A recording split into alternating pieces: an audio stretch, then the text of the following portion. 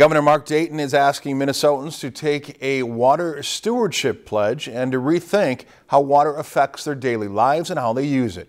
Dayton made the announcement Tuesday at the Minnesota State Fair as part of his Year of Action, a Water Action. Dayton has made improving water quality a major priority in his second term, focusing on increased public involvement and spending on water projects. Welcome, Governor Dayton. We are the solution.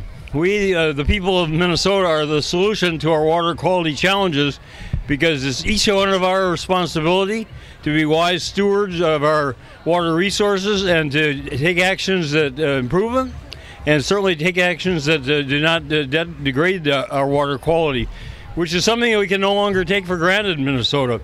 The pledge asks Minnesotans to rethink how water impacts daily life in future generations, to use water efficiently and wisely, to learn more about how they can help protect and preserve water, to make more informed consumer choices, and to talk to each other about water issues. If you've enjoyed this segment of Lakeland News, please consider making a tax-deductible contribution to Lakeland Public Television.